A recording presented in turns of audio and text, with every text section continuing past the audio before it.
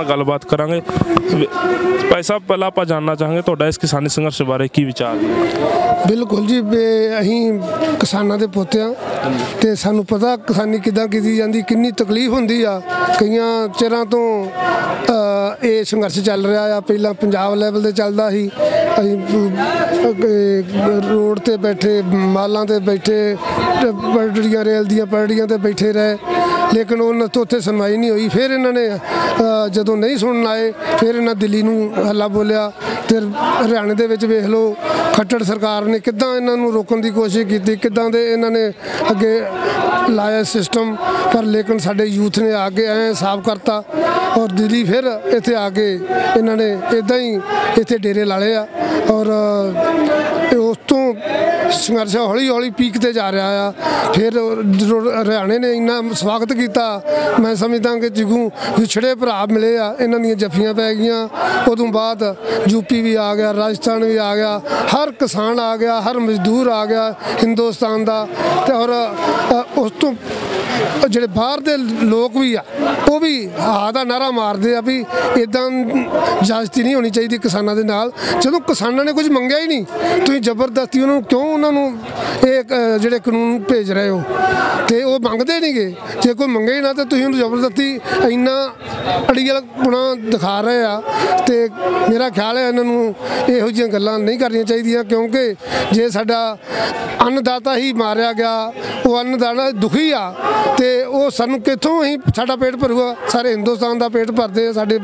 ਤੇ ਇਸ ਕਰਕੇ ਉਹਨਾਂ ਨੂੰ ਸੋਚਣਾ ਚਾਹੀਦਾ ਜ਼ਰੂਰ। ਜਿੱਥੇ ਕਿ ਦੇਖਿਆ ਜਾਏ ਵੱਡੇ ਵੱਡੇ ਖਿਲਾੜੀਆਂ ਨੇ ਇੱਥੇ ਆ ਕੇ ਆਪਣੀ ਸਮੂਲੀਅਤ ਕੀਤੀ ਕਲਾਕਾਰਾਂ ਨੇ ਵੀ ਕੀਤੀ ਜਿਨ੍ਹਾਂ ਨੇ ਜੋ ਅਵਾਰਡ ਜਿੱਤੇ ਹੋਏ ਸੀ ਉਹ ਕਈਆਂ ਨੇ ਇੱਥੇ ਵਾਪਸ ਵੀ ਕੀਤੇ ਆਰਮੀ ਵਾਲਿਆਂ ਨੇ ਵੀ ਕੀਤੇ। ਕਿ ਤੁਹਾਡੇ ਵੱਲੋਂ ਇਹੋ ਜਿਹਾ ਕੋਈ ਕਾਰਜ ਕੀਤਾ ਗਿਆ? ਬਿਲਕੁਲ ਜੀ ਪਹਿਲਾਂ 30 ਤਰੀਕ ਨੂੰ ਜਦੋਂ ਇੱਥੇ ਸੰਘਰਸ਼ ਚੱਲ ਰਿਹਾ ਸੀ ਤੇ ਮੈਂ ਵੇਖਿਆ ਇਦਾਂ ਹੀ ਪਾਣੀ ਦੀਆਂ ਵਿਛਾੜਾਂ ਹੋ ਰਹੀਆਂ ਸੀ ਲਾਠੀ ਚਾਰਜ ਹੋ ਰਿਹਾ ਸੀ ਔਰ ਇਹ ਦੇਖ ਕੇ ਮੈਂ ਆਪਣੇ ਦੋਸਤਾਂ ਦੇ ਨਾਲ ਸਲਾਹ ਕੀਤੀ ਕਿ ਆਪਾਂ ਨੂੰ ਵੀ ਉੱਥੇ ਜਾਣਾ ਚਾਹੀਦਾ ਜਾਂ ਕੀ ਕਰਨਾ ਚਾਹੀਦਾ। ਫਿਰ ਅਸੀਂ ਸਲਾਹ ਕਰਕੇ ਕਿ ਸਾਨੂੰ ਜੋ ਸੈਂਟਰ ਗਵਰਨਮੈਂਟ ਨੇ ਅਵਾਰਡ ਦਿੱਤੇ ਹੋਏ ਆ ਪਦਮ ਸ਼੍ਰੀ ਅਰਜਨ ਅਵਾਰਡੀ ਦਰੋਨਾਚਾਰੀਆ ਭੀਮ ਅਵਾਰਡ ਇਦਾਂ ਦੇ ਵੀ ਇਹ ਵਾਪਸ ਕਰੀਏ। ਤੇ ਫਿਰ ਅਸੀਂ ਉਦੋਂ ਉਸੇ ਦਿਨ ਹੀ ਪ੍ਰੈਸ ਕਾਨਫਰੰਸ ਕੀਤੀ। ਉਸ ਤੋਂ ਬਾਅਦ ਫਿਰ ਹੜ ਆ ਗਿਆ। ਇਹ 30 ਪਲੇਅਰ ਤੇ ਸਾਡੇ ਉਦੋਂ ਹੀ ਅਰਜਨ ਅਵਾਰਡ ਸ੍ਰੀ ਦਰੋਨਾਚਾਰੀ ਅਵਾਰਡ ਵਾਪਸ ਕਰਨ ਲਈ ਉਹਨਾਂ ਦੀ ਸਹਿਮਤੀ ਆ ਗਈ ਉਸੇ ਦਿਨ ਹੀ। ਔਰ ਉਸ ਤੋਂ ਬਾਅਦ ਹੁਣ 52 ਪਲੇਅਰਾਂ ਦੀ ਪੰਜਾਬ ਦਿਆਂ ਦੀ ਵਾਪਸੀ ਕਰਨ ਦੀ ਕਿਹੜਾ ਕਿਹੜਾ ਅਵਾਰਡ ਵਾਪਸ ਕੀਤਾ? ਕਦੋਂ ਕਦੋਂ ਮਿਲਿਆ ਇਸ ਮੇਰੇ ਨੂੰ ਕੋਲ ਦੋ ਅਵਾਰਡ ਜਿਹੜੇ ਸੈਂਟਰ ਦੇ ਆ ਪਦਮ ਸ਼੍ਰੀ ਸਭ ਤੋਂ ਵੱਡਾ ਅਵਾਰਡ ਹੁੰਦਾ। ਮਤਲਬ ਉਹ ਵਾਪਸ ਮਤਲਬ ਉਹ ਤਾਂ ਹੈ ਹੀ। ਜਿਹੜਾ ਸਭ ਤੋਂ ਵੱਡਾ ਸਪੋਰਟਸ ਦਾ ਅਵਾਰਡ ਅਰਜਨ ਅਵਾਰਡ ਹੁੰਦਾ। ਜਿਹੜਾ ਪਦਮ ਸ਼੍ਰੀ ਆਉਂਦਾ ਉਹ ਜਰਨਲ ਕੋਈ ਵੱਡਾ ਕੰਮ ਕਰੇ ਤੇ ਉਹਨੂੰ ਦਿੰਦੇ ਆ। ਇਸ ਕਰਕੇ ਦੋਨੋਂ ਵਾਪਸ ਕੀਤੇ ਆ। ਸਾਰਿਆਂ ਨੇ ਇਦਾਂ ਦੇ ਗੁਰਬਖਸ਼ ਸਿੰਘ ਆ ਤਾਰਾ ਸਿੰਘ ਆ ਹਰਦੀਪ ਸਿੰਘ ਆ ਸਾਰੇ ਅਰਜਨ ਅਵਾਰਡ ਸਾਰੇ ਮੇਰੇ ਕੋਲ ਪਏ ਆ ਦਿੱਲੀ ਰੱਖੇ ਆ। ਮਤਲਬ ਕਿ ਜੇ ਇਹੋ ਜਿਹੇ ਤੁਸੀਂ ਜਿੱਦਾਂ ਅਵਾਰਡ ਵਾਪਸ ਕੀਤੇ ਨੇ ਇਸ ਤਰ੍ਹਾਂ ਇੱਕ ਇਤਿਹਾਸ ਲਿਖਿਆ ਜਾਊਗਾ ਕਿ ਜਿਹੜਾ ਸੰਘਰਸ਼ ਹੈ ਪਹਿਲਾ ਸੰਘਰਸ਼ ਹੈ ਜਿੰਦੇ ਵਿੱਚ ਹਰ ਕਲਾਕਾਰ ਨੇ ਹਰ ਖਿਡਾਰੀ ਖਿਡਾਰੀ ਨੇ ਆਪਣਾ ਜੋ ਬਣਦਾ ਸਹਿਯੋਗ ਸੀ ਉਹ ਪਾਇਆ ਹੈ। ਸਾਨੂੰ ਤੇ ਰੰਜਿਸ਼ ਇਹ ਆ ਸਾਡੇ ਵੱਡੇ ਆ ਅਸੀਂ ਵੀ ਕਿਸਾਨਾਂ ਦੇ ਪੋਤਿਆਂ ਇਹਨਾਂ ਨੇ ਸਾਡੇ ਪਿੰਡਾਂ ਦੇ ਵਿੱਚ ਮੇਲੇ ਕਰਾਏ ਆ ਤਾੜੀਆਂ ਮਾਰੀਆਂ ਆ ਇਨਾਮ ਮਿਲੇ ਸਾਨੂੰ। ਇਹਨਾਂ ਨੇ ਸਾਨੂੰ ਇੱਕ ਇਹ ਇਨਾਮ ਜਿੱਤਣ ਲਈ ਇਹਨਾਂ ਨੇ ਇੱਕ ਲਾਇਕ ਬਣਾਇਆ। ਤੇ ਸਾਡੇ ਉਹ ਵੱਡਿਆਂ ਦਾ ਹੀ ਨਹੀਂ, ਆਦਰ ਹੋ ਰਿਹਾ, ਸਤਿਕਾਰ ਨਹੀਂ ਹੋ ਗਿਆ, ਹੋ ਰਿਹਾ ਤੇ ਇਹ ਤੇ ਬਹੁਤ ਮਾੜੀ ਗੱਲ ਇਸ ਕਰਕੇ, ਰੰਜਿਸ਼ ਕਰਕੇ ਅਸੀਂ ਆਏ ਸੀ। ਫਿਰ ਹੁਣ ਹਰਿਆਣਾ ਵੀ ਜੁੜ ਗਿਆ, ਮਹਾਰਾਸ਼ਟਰ ਵੀ ਜੁੜ ਗਿਆ, ਕਰਨਾਟਕਾ ਵੀ ਜੁੜ ਗਿਆ। ਉਹਨਾਂ ਨੇ ਵੱਡੇ ਵੱਡੇ ਪ੍ਰੋਗਰਾਮ ਕਰਾ ਕੇ ਆਪਣੇ ਉਹਨਾਂ ਸਟੇਟਾਂ 'ਚ ਹੁਣ ਅਸੀਂ ਪ੍ਰੋਗਰਾਮ ਬਣਾ ਰਹੇ ਹਾਂ, ਸਾਰੇ ਇਕੱਠੇ ਹੋ ਕੇ। ਜੇ 4 ਤਰੀਕ ਨੂੰ ਫੈਸਲਾ ਹੋ ਜਾਂਦਾ ਤੇ ਬਹੁਤ ਵਧੀਆ ਗੱਲ ਆ ਨਹੀਂ ਤਾਂ ਇਕੱਠੇ ਹੋ ਕੇ ਫਿਰ ਅਸੀਂ ਰਾਸ਼ਟਰਪਤੀ ਦੇ ਰਿਕੁਐਸਟ ਕਰਨੀ ਆ ਕਿ ਇਹ ਸਾਡਾ, ਸਾਨੂੰ ਅਸੀਂ ਇਹੋ ਜਿਹੇ ਵਾਰਡ ਨਹੀਂ, ਸਾਨੂੰ ਜਿੱਤਣੀ ਚਾਹੀਦੀ, ਜਿਹੜੇ ਸਾਡੇ ਵੱਡਿਆਂ ਦੀ ਇੱਜ਼ਤ ਰੁਲਦੀ ਹੋਵੇ ਤੇ ਅਸੀਂ ਕੋਈ ਉਹ ਨਹੀਂ ਚਾਹੁੰਦੇ। ਇਹ ਅਸੀਂ ਪ੍ਰੋਗਰਾਮ ਕਰ ਰਹੇ ਹਾਂ। ਜਿੱਦਾਂ ਕਿ ਦੇਖਿਆ ਜਾਏ ਤੇ ਜੇ ਅੱਜ ਨੌਜਵਾਨ ਵੀ ਅੱਗੇ ਵੱਧ ਗਿਆ ਤੁਸੀਂ ਤੁਹਾਡੇ ਇਹੋ ਜਿਹੇ ਸਹਿਯੋਗ ਨਾਲ ਕੋਈ ਬਦਲਾਅ, ਬਹੁਤ ਵੱਡੇ ਬਦਲਾਅ ਆਉਣ ਵਾਲੇ ਹੋਰ ਦੇਖੋ ਕੱਲ ਇਹਨਾਂ ਨੇ ਆਪਣੇ ਜਿੰਨੇ ਵੀ ਜਥੇਬੰਦੀਆਂ ਨੇ ਕੱਲ ਐਲਾਨ ਕਰ ਦਿੱਤੇ। ਜੇ 4 ਤਰੀਕ ਫੈਸਲਾ ਕਰਦੀ ਹੈ ਸਰਕਾਰ, ਨਹੀਂ ਕਰਦੀ, ਤੇ ਆਪਾਂ ਬਹੁਤ ਵੱਡੇ ਪੱਧਰ ਤੇ ਇਹਨਾਂ ਦਾ ਵਿਰੋਧ ਕਰਾਂਗੇ ਔਰ ਦਿੱਲੀ ਤੱਕ ਜਾਵਾਂਗੇ। ਔਰ ਉਹਨਾਂ ਨੇ ਇਹ ਵੀ ਕਹਿ ਛੱਡਿਆ ਹੈ, ਜਿਹੜੇ ਕਿ ਆਰਮੀ ਪਰੇਡ ਕਰਦੀ ਹੈ ਉਹਦੀ ਜਗ੍ਹਾ ਸਾਡੇ ਕਿਸਾਨ ਪਰੇਡ ਕਰਨਗੇ 26 ਤਰੀਕ ਨੂੰ? ਆ ਬਿਲਕੁਲ ਜੀ ਜੇ ਜੋ ਮਜਬੂਰੀ ਆ ਇਹ ਤੇ ਸ਼ਾਂਤਮਈ ਦੇਖ ਲਓ 6 ਮਹੀਨੇ ਹੋ ਗਏ ਆ।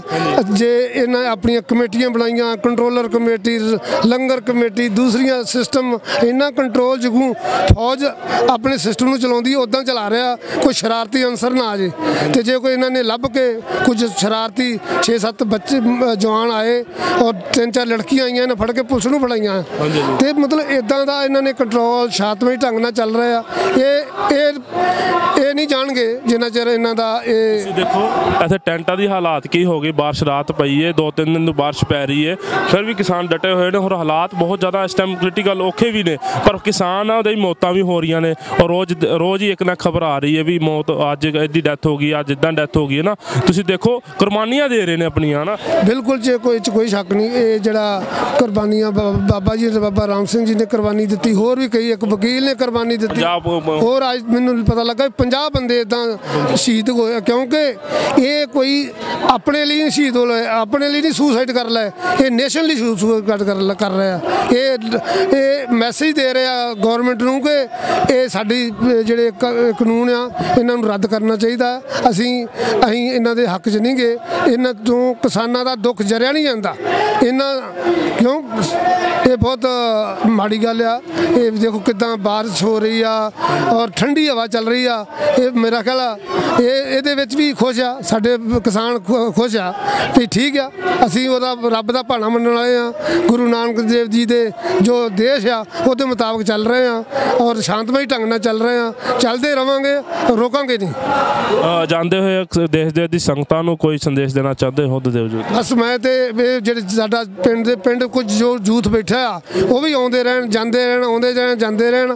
ਇੱਥੇ ਪ੍ਰੈਸ਼ਰ ਪੈਂਦਾ ਰਵੇ, ਰੌਣਕਾਂ ਲੱਗੀਆਂ ਰਹਿਣ। ਸਾਡੇ ਜਿਹੜੇ ਵੱਡੇ ਬੈਠੇ ਆ, ਉਹਨਾਂ ਦਾ ਹੌਸਲਾ ਹੋਰ ਵੱਧਦਾ ਰਵੇ, ਕਿਉਂਕਿ ਇਹੋ ਜਿਹੇ ਕੰਮ ਤੇ ਹੌਸਲਿਆਂ ਨਾਲ ਲੜੇ ਜਾਂਦੇ ਆ ਤੇ ਉਹ ਸਾਡੇ ਕਿਸਾਨਾਂ ਦਾ ਹੌਸਲਾ ਬੁਲੰਦ ਰੱਖਣ ਲਈ ਅਸੀਂ ਵੀ ਫਿਰਦੇ ਰਹਿੰਦੇ ਆ ਇੱਥੇ। ਔਰ ਮੈਂ ਚਾਰ ਪੰਜ ਵਾਰਾਂ, ਮੈਂ ਵੀ ਮੇਰਾ ਖਿਆਲ 20 ਦਿਨ ਇੱਥੇ ਲਾਤੇ ਆ 37 ਦਿਨਾਂ ਚੋਂ। ਤੇ ਕੱਲ ਅਸੀਂ ਤਿਗੜੀ ਕੈਂਪ ਵੀ ਗਏ ਸੀ। ਤੇ ਉੱਥੇ ਵੀ ਬੜਾ ਮਜ਼ਾ ਆਇਆ, ਬੜਾ ਉੱਥੇ ਇੱਕ ਰਾਠੀ ਆ। ਹਰਿਆਣੇ ਨੇ ਇੰਨਾ ਸਾਥ ਦਿੱਤਾ ਆ। ਪੁੱਛੋ ਕੁਝ ਨਾ, ਦੁੱਧ, ਘਿਓ, ਲੱਸੀਆਂ, ਸਾਰਾ ਕੁਝ ਆਈ ਜਾਂਦਾ, ਪਿੰਨੀਆਂ, ਖੋਆ ਤੇ ਉਧਰ ਇੱਕ ਉਹਨੇ ਆਪਣੇ ਨਾ ਪੈਟਰੋਲ ਪੰਪ ਤੇ ਹੀ ਡੇਰੇ ਲਵਾਏ ਸਾਰਿਆਂ ਦੇ। ਤੇ ਉੱਥੇ 45 ਏਕੜ ਜ਼ਮੀਨ ਆ ਉਹਦੇ ਵਿੱਚ ਸਾਰਾ ਕੁਝ ਕਰਿਆ ਜਾਂਦਾ। ਇੱਕ ਉਹਨਾਂ ਨੇ 500 ਅ, ਬੀਬੀ ਦਾ ਰਹਿਣ ਦਾ ਵੀ ਘਰ ਬਣਾਤਾ। ਤੇ ਉੱਥੇ ਖਾੜਾ ਵੀ ਖੋਲਣ ਲੱਗੇ ਆ। ਕਹਿੰਦੇ ਅਸੀਂ ਇੱਥੇ ਤੁਹਾਨੂੰ ਪੱਕਾ ਕੋਈ ਦੇ ਕੇ ਜਾਵਾਂਗੇ। ਅਬਲ ਤੇ ਜੇ- ਜੇ ਇਹ ਨਹੀਂ ਕੀਤਾ ਤਾਂ ਫਿਰ ਅਸੀਂ ਚਲਾਵਾਂਗੇ। ਤੇ ਨਹੀਂ ਤੇ ਅਸੀਂ ਇੱਥੇ ਤੁਹਾਨੂੰ ਕੁਝ ਦੇ ਕੇ ਜਾਵਾਂਗੇ। ਵਧੀਆ ਚੀਜ਼ ਛੱਡ ਕੇ ਜਾਵਾਂਗੇ। ਤੇ ਸਾਡੇ ਹਰਿਆਣਾ ਸਾਡਾ ਭਰਾ ਆ ਸਾਡਾ ਖੂਨ ਇੱਕ ਆ। ਤੇ ਹੁਣ ਤੇ ਸਾਡਾ ਸਾਰੇ ਹਿੰਦੁਸਤਾਨੀਆਂ ਦਾ ਗੁਲਦਸਤਾ ਹੀ ਇੱਕ। ਇਹਨਾਂ ਨੇ ਬੜਾ ਖੇਡਣ ਦੀ ਕੋਸ਼ਿਸ਼ ਕੀਤੀ। ਉਹ ਆ ਸੰਘਰਸ਼ ਨੇ ਉਹਨਾਂ ਨੂੰ ਫਿਰ ਜੋੜਤਾ ਆ ਤੇ ਸਾਡੀ ਪੰਜਾਬੀਆਂ ਦੀ ਕੀ ਸਾਰੇ ਹਿੰਦੁਸਤਾਨੀਆਂ ਦੀ ਸਟਰੈਂਥ ਬਣ ਗਈ ਆ। ਤੇ ਹੁਣ ਮੇਰਾ ਖਿਆਲ ਆ ਇਹੋ ਜੀਆਂ ਗਵਰਨਮੈਂਟਾਂ ਦੇ ਨਾਲ ਲੜਾਈ ਜਿਹੜੀ ਹੋਣੀ ਉਹ ਤੇ ਅਸੀਂ ਜਿੱਤਣੀ ਆ। ਇੱਕ ਲੜਾਈ ਜਿਹੜੀ ਅਸੀਂ ਜਿੱਤ ਲਈ ਆ ਕਿ ਅਸੀਂ ਇਕੱਠੇ ਹੋ ਗਏ ਆ। ਉਹ ਸਭ ਤੋਂ ਵੱਡੀ ਲੜਾਈ ਇਹ ਤੇ ਲੜਾਈ ਛੋਟੀ ਆ ਇਹ ਹੁਣ ਜਿੱਤ ਲੈਣੀ ਆ ਆਪਾਂ। ਬਹੁਤ ਬਹੁਤ ਧੰਨਵਾਦ ਜੀ ਤੁਹਾਡਾ ਸਾਡੇ ਚੈਨਲ ਤੇ ਆ ਕੇ ਆਪਣੇ ਵਿਚਾਰ ਪੇਸ਼ ਕੀਤੇ। ਸਤਿ ਸ਼੍ਰੀ ਅਕਾਲ। ਪਲੀਜ਼ ਸਾਡੇ ਚੈਨਲ ਸਾਂਝਾ ਪੰਜਾਬ ਨੂੰ ਲਾਈਕ ਤੇ ਸਬਸਕ੍ਰਾਈਬ ਕਰੋ YouTube ਤੇ।